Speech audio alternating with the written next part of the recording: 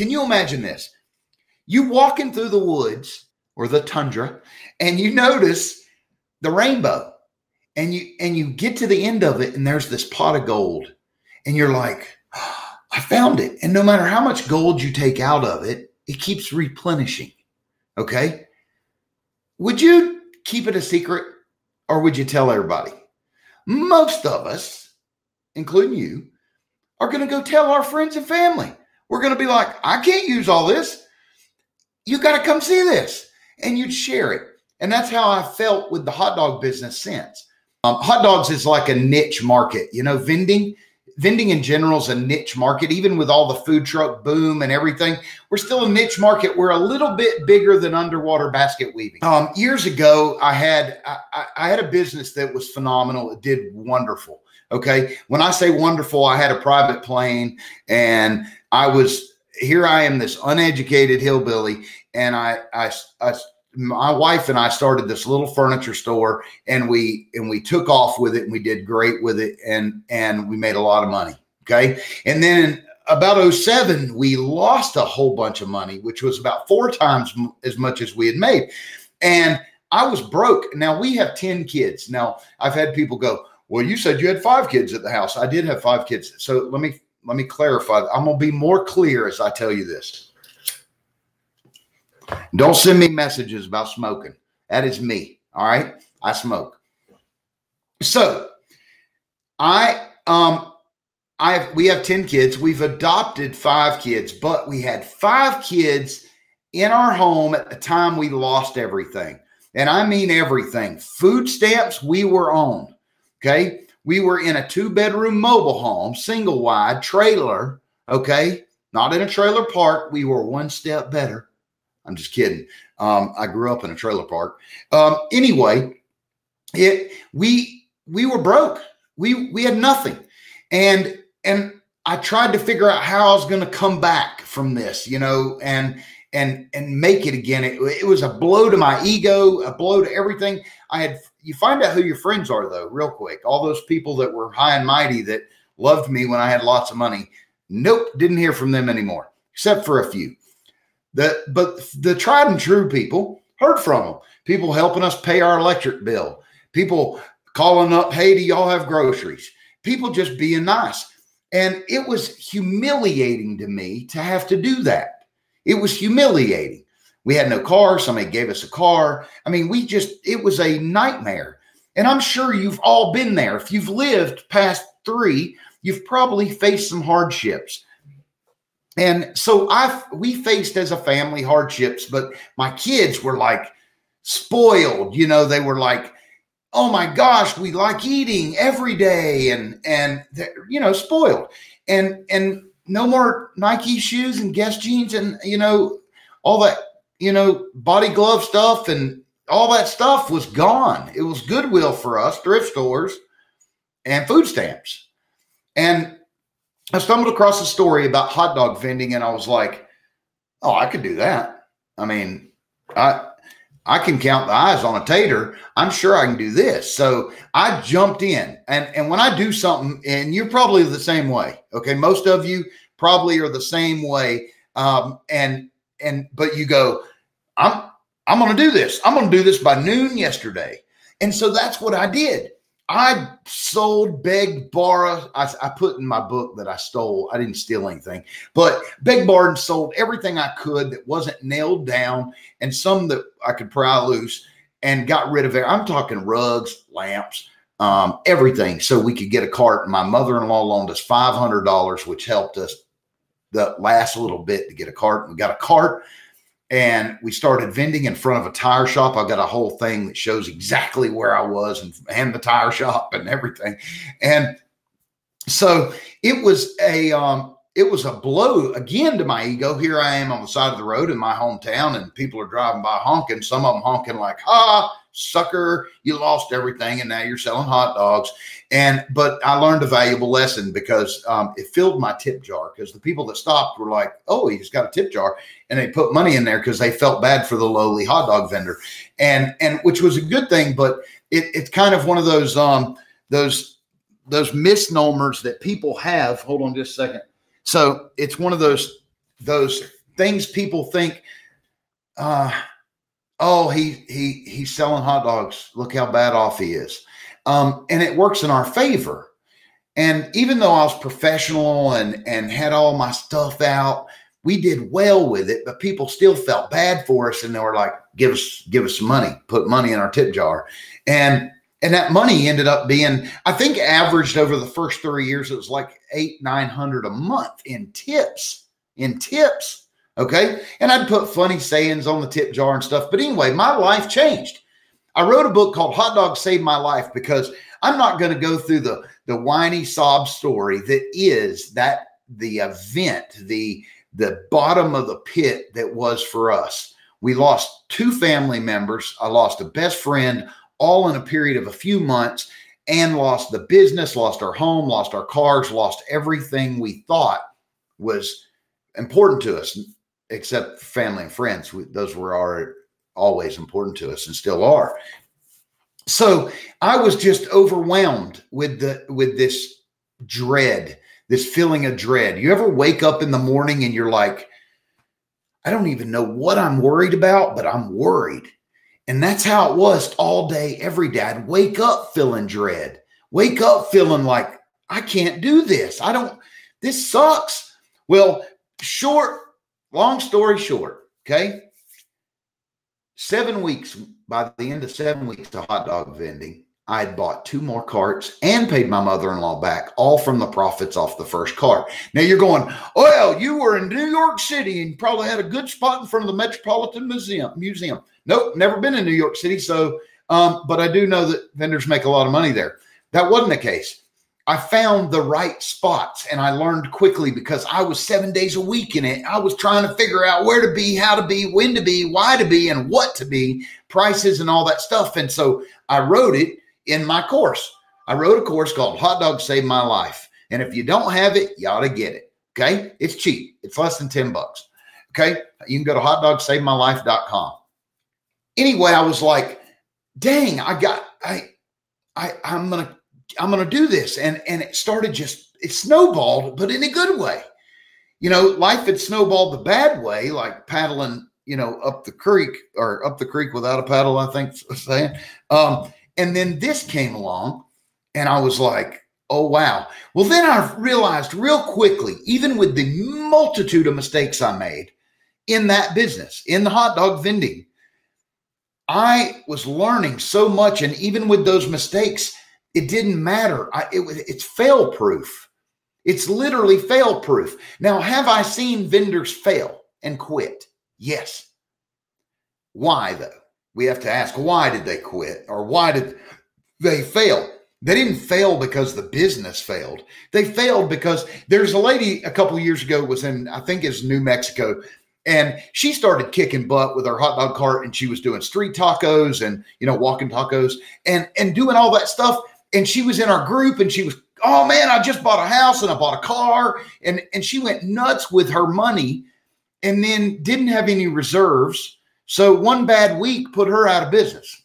Not not literally it was like a month that she couldn't work because of rain and then she twisted an ankle and then a neighbor's chicken was having puppies and all these things were happening in her life and so she wasn't able to work as much and she ended up leaving the hot dog vending business doesn't fail.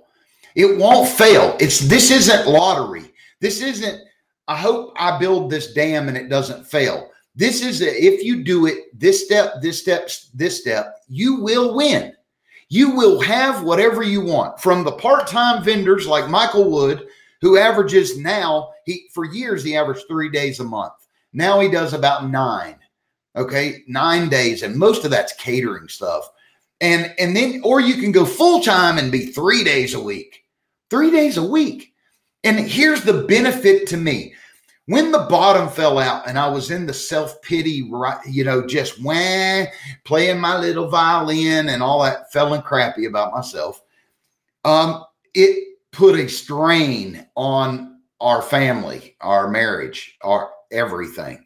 And it was horrible horrific is all I can say. It was horrible to me. And and I, I know people have been through worse, but I'm just I'm sharing my experience. So part of that was is because I was all self-righteous, not and I had a huge ego. I wasn't cocky, but I had a huge ego, right? And so I wasn't spending time at home. I wasn't with spending time with my wife. I was just, man, look at me. I'm a self-made millionaire and I'm just a bad butt. And I wasn't. And I wasn't. And and I had that humbling experience. Um, that I wished I could have just read a book and learned about the humbling experience instead of actually having to live it. But either way, I was very, um, it changed everything because all of a sudden now my wife and I were working together. My daughters and I are working together. They're working carts. Everything started working better and my life became happier. And it's the moment I realized what freedom is or what wealth is. Because to me now, I, I don't have a private plane. Okay. I don't have multiple homes. I don't have that stuff. And I'm happier now. And I'm not saying, oh, you can be happy living just in, in, in a mud hole with the hogs. No, I'm not saying that. I'm saying I make a great living. And I started making this good living, a lot of cash, okay, income. I started making a good living. And I was like, you know what? I'm I'm going to um, I'm this is this is the best thing ever. All of a sudden, I'm realizing I've got time to play with my kids. I've got time to talk to my daughters when they need to talk, or or they need to they you know they have a crisis. You know, somebody said their sneakers were ugly or something, and and so my life got better, my marriage got better, everything got better, and all of a sudden I realized that when my my daughter's school calls and they go, Hey, can you come down here? Um, your daughter's sick or your daughter got in a fight. Or I had one daughter that was a wrestler. So she, she just, I mean, literally wrestled in high school. And, and so, and she wasn't afraid of guys or anybody really. And even me sometimes. And so, you know, I got to go down to the school. I didn't have to, I didn't have to call my boss. I didn't have to make sure everything's working out okay. No, I just, I just went and did it I went and did it. Um, anyway, it changed everything for me, and and it, it inspired me. I wanted to tell everybody. Can you imagine this? Can you imagine this? You walking through the woods, or through the prairie, or the tundra, and you notice the rainbow, and you and you get to the end of it, and there's this pot of gold, and you're like, oh, I found it. And no matter how much gold you take out of it, it keeps replenishing. Okay. Would you keep it a secret or would you tell everybody? Most of us, including you, are going to go tell our friends and family. We're going to be like, I can't use all this. You got to come see this. And you'd share it. And that's how I felt with the hot dog business since with the vending. And it is expanded to catering and drop off catering, the coolest stuff. Okay. With vending, I've learned over the years. But the, the beauty is is that it's easier now than it's ever been. We've got more information for free at learnhotdogs.com. Should be a linky somewhere on the page, maybe a blue icon, right? I see it right there, maybe right in that area.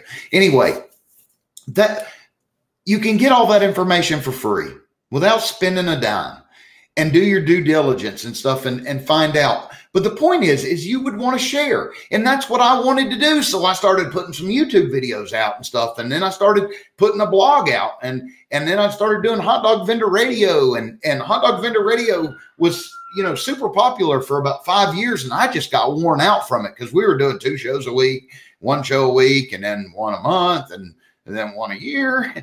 And uh, and and and because after you say something, after you teach something, you're like, well, I, I showed them how to put ketchup on a hot dog, so I'm good now. Um, don't need to do any updates there. No, there's constant updates. There's constant little tricks and tips and stuff. And so I've learned over the years that you got to keep going and keep going and and and sharing. Well, the beauty is we created vendorsunited.com and and it turned into just an amazing place of vendors sharing tips and tricks every single day. Like somebody would go, How do I keep my buns like this? What do y'all do for your buns? And do you pre split them? What do you do? And then, and then somebody uh, post up a video right then immediately and go, here's what I, I'm at my cart right now. Here's how to do it. And they're showing it on their cart. It's just a wonderful place. If, once you get going or once you want to start, it's a great place. There's there's over hundred people in there that haven't even started yet that are learning. Um, I don't know if y'all remember the interview I did with um, with um, Squatch Dogs out in Washington,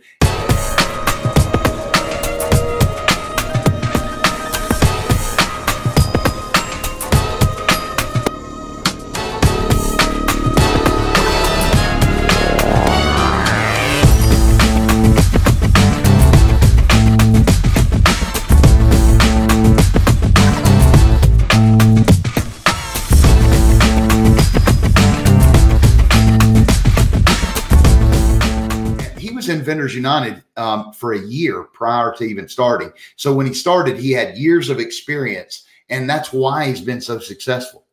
It's why he's been so successful because he one he's awesome and and it, he does a great job. But he learned these tips and stuff, and then he applied it instantly. It wasn't a learning curve. Where with me, when I started, I was on a learning curve. I man, I made so many freaking mistakes. But even with some major mistakes, I was able to maintain it and keep going. And and and we had some setbacks and stuff. Like you know, my first year, I had 22 carts. No, no joke. Why? Stupid. I was stupid because that was not the way to do that. I should have done it a lot more slowly, and and I should have not. I didn't need 22 carts. I could make the same with three. I, I just didn't know anything, and I figured uh, more's better. If this cart's making eighty thousand a year, this one will make a hundred thousand, and this one will make you know 65. And I, boy, I'm just running it, right? So anyway, um, it it has been a wonderful, wonderful um, life, but th- this life in vending. And then for the last 10 years, I've gotten to help tens of thousands of people just like you who needed something you know i gotta get i gotta get going i gotta i gotta get going. And and so i i enjoy the helping. I answer over 150 emails a day. Okay? I i and i'm not saying that to brag. I'm just saying people ask questions constantly. And even though they they can find the answers on the website a lot of them are like my particular situation how did how would your answer apply to it? And and so I love this, watching this change people's lives. Watching the the truck driver. Uh, we just had another truck driver. Apparently, that's a common one. Truck driver named Tony that had been truck driving, lost his wife. Literally, she left him because he was on the road, over the road truck driver. I think it's OTR. It's called, and he was working his butt off to provide for his freaking family, but it put so much strain and stress on his marriage that she left Okay. And now he's starting over. And and those those things happen. And and it's sad to see that because had he found this prior and been in the right frame of mind for it, he would have been way better off. But we've written stories and interviewed other truck drivers. We've interviewed police officers. We've interviewed a, a blue million of people who we even have chiropractors um, that that spend so much time at the office they don't have any free time. Where a hot dog vendor goes out three days a week, four days a week, and and for two to three hours. We're not out there nine to five. Okay, maybe at an event, but I'm talking regular vending is two to three hours. That's it, done. So it's it gives a world of freedom, a world of of just the ability to to take off when you need to take off was worth a million dollars to me. The ability to like if I was vending every every week, you know, 2 3 days a week and and somebody died or my dad one time needed help and my mom actually needed the help. My dad hurt his back. And and I I just packed up and went. I didn't have to I didn't have to call anybody. I didn't need time off. I didn't have to do any of that. So now, are there negatives to it? Absolutely. You're going to miss some Jerry Springer reruns. I know they play around noon, and noon's a great time to vend. There's things you miss, like um, like a guaranteed paycheck. Well, I can guarantee myself a paycheck. I've never been worried about that. And if you're a type A entrepreneur type, you're not either. But there's some people that that may be here that that have that frame. They like the security blanket of a job. They like the security blanket of it, and I get it. I'd love to be guaranteed, but I can tell you this: if you follow the steps in vending, you do the things for free, free information. Okay, go grab it, follow those steps one, two, three, four, five. You'll be successful. Period.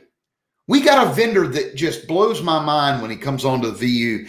Um, he's in South Florida, and he's he's um he's got the attitude. I wish I had his attitude. He has just got this empowering attitude, and he's faced some struggles. Like if you knew him, I'm not going to share it here because I didn't get his permission first, but he's faced some struggles, and he's now kicking butt with vending. It changed his life, and it changes most people. Happy New Year to you. I love you, and this has been a blast. I thank you for being here with me. I'll talk to you later. I just want to take a moment um, to talk a little bit about O'Doggies and where we are today and a little bit of history of how we got here. So uh, it was almost six years ago, uh, six years ago, a couple weeks ago actually, that, that O'Doggies began. Uh, but the spark began before that, um, almost a year before that, when I was uh, happened upon Ben, and at that time his radio show, uh, Hot Dog Vendor Radio, and uh, the group of guys that were in, in with that. Um, because of those guys, it kind of inspired me to kind of catch that hot dog fever. And some of you guys know what I'm talking about.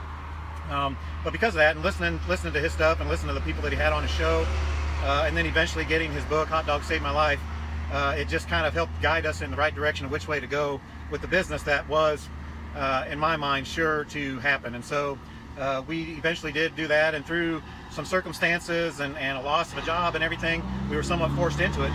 Um, but fortunately, we had Ben and uh, and some of those that are that are in his group. We had them in our corner, and so because of that, uh, I believe that we became uh, fairly successful. Um, of course, we have uh, you know friends and and church members and stuff that supported us uh, but it was because of, of the group like Vendors United um, and the book Hot Dog Saved My Life that we were able to eliminate some of those mistakes uh, right off the bat without even, you know, giving it a second thought because there's some things I would have done, but because Ben wrote about it in his book, I decided not to do and avoided some of those things. And so uh, with the help of a lot of others, uh, we were able to go from uh, the first hot dog cart that I built myself uh, to an enclosed trailer. And then four years ago, uh, we started a brick and mortar restaurant downtown here. Um, we still have the cart, as you can tell, and you can hear the cars going by. Uh, we love still getting the cart out. Uh, it's still a big part of who we are and uh, street food vending. And uh, matter of fact, just a, a couple days ago, uh, we purchased a Stand King. So we, we, currently run a Cater Pro cart from hotdogcartstore.com, but we just purchased a Stand King a couple days ago. And the reason we did that is because, you know, I've used other carts and looked at other carts uh, this Cater Pro outperforms uh, another one that I have looked at. Um, it just heated things up so much quicker, had capability to do more, and I just I really like the layout of the Cater Pro, very similar to the first one that I built myself. And uh, but the quality of, of Ben's and Keith's product is is outstanding and uh, and for the money, I mean, in my opinion, it's the best bang for your buck. So that's why I knew that uh, we could pull the trigger on getting a Stand King and know that it's going to be up to the same level of, uh, of craftsmanship that the Decatur Pro is. So um, I just want to say thanks to, to Ben, uh, to those in Vendors United, um, and those that have helped along the way. Uh, we want to thank you for helping us get where we are. And um, if you're in Vendors United, you know that we like to pay it forward and help give tips and uh, help give advice whenever we can too. So uh, whether that's being in a cart, a trailer, or being in a brick and mortar down the road, if that's your dream, uh, we'd be happy to help you out in that and help guide you in the same directions uh, and help avoid some of the things that maybe we did. Um, but again, I want to say thanks to Ben, and uh, we appreciate everything you do.